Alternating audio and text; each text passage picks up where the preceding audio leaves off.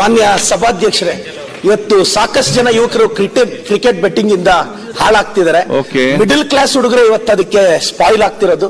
ದಯವಿಟ್ಟು ಇದ್ರ ಬಗ್ಗೆ ಕಠಿಣ ಕಾನೂನು ಕ್ರಮ ಜರುಗಿಸಬೇಕು. ಆದಷ್ಟು ಶೀಘ್ರನೇ ಒಂದು ಸ್ಕ್ವಾಡ್ನ ಎಲ್ಲರೂ ಸಹಕಾರದೊಂದಿಗೆ ಮಾಡಬೇಕು. ಸಾವಿರಾರು ಕುಟುಂಬಗಳು ಇದರಿಂದ ಸ್ಪಾಯಿಲ್ ಆಗ್ತಿದೆ.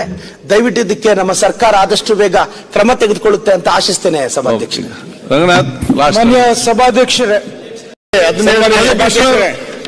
ಮಾನ್ಯ ಸಭಾಧ್ಯಕ್ಷರೇ ಇವತ್ತು ಸಾಕಷ್ಟು ಜನ ಯುವಕರು ಕ್ರಿಕೆಟ್ ಕ್ರಿಕೆಟ್ ಬೆಟ್ಟಿಂಗ್ ಇಂದ ಹಾಳಾಗ್ತಿದ್ದಾರೆ.